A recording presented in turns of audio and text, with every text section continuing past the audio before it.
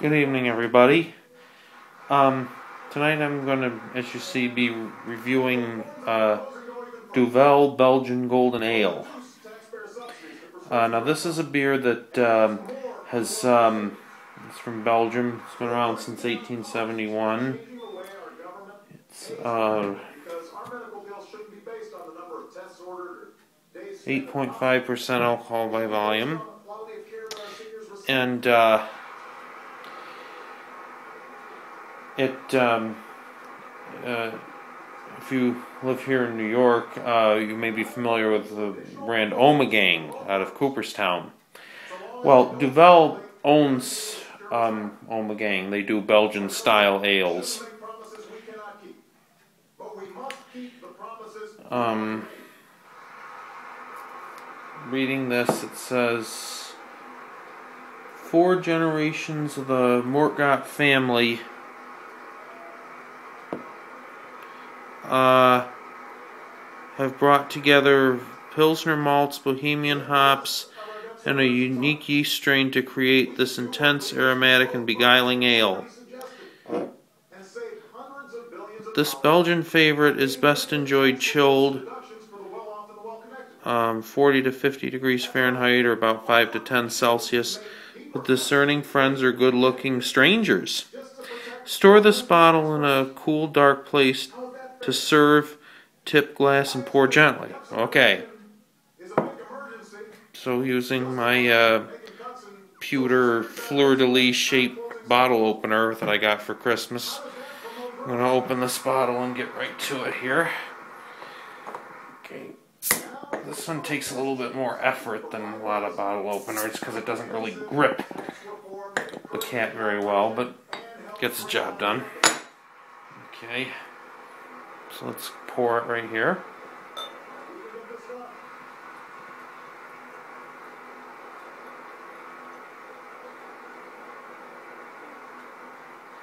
The American people deserve a tax code that helps small businesses spend less time filling out complicated forms and more time expanding and hiring.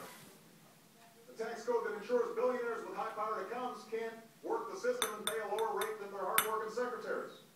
A tax code that lowers Okay. to move jobs overseas and lowers tax rates for businesses and As you can see, it's a uh, poured it rather aggressively, so it's about a four finger amount of head.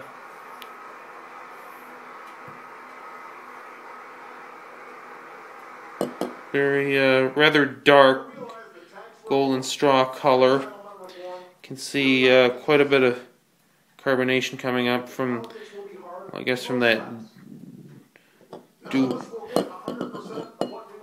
that. Well, The alternative will cost us excuse me about the camera here. Well, the Duvel shaped D at the bottom of it is generating all these bubbles you see here. that replaces reckless cuts with smart savings. Okay, Investments in our future. so let's go to the aroma. Brinksmanship that stresses consumers and scares off investors. The greatest nation on earth. Hmm. Yeah.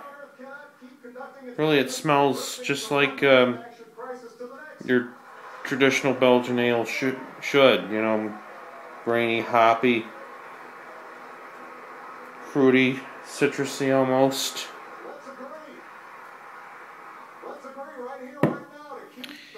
What can you say? It's um. Tastes like a Belgian ale should. Or, or smells like a Belgian ale should. Okay, so let's go to the taste.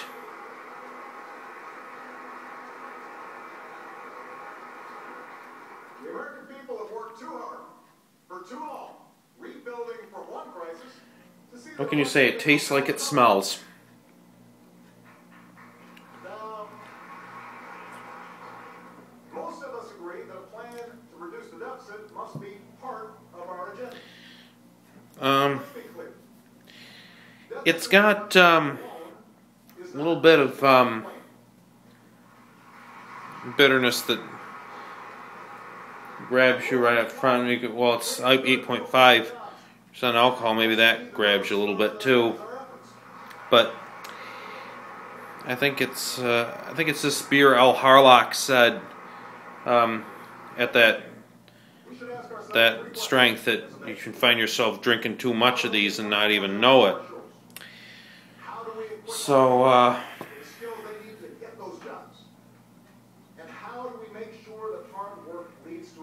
the so, but it's very but it's very good. Um, I think that might add a little bit of that, not the bitterness. I mean, the alcohol may add some uh, harshness to it. So I just knock a little bit off of it for that, but it's absolutely a great beer. Both parties agreed to just 18 months ago. Let me repeat, Yes, world class beer. So I think I'm going to give it 4.5 out of 5. Till next time,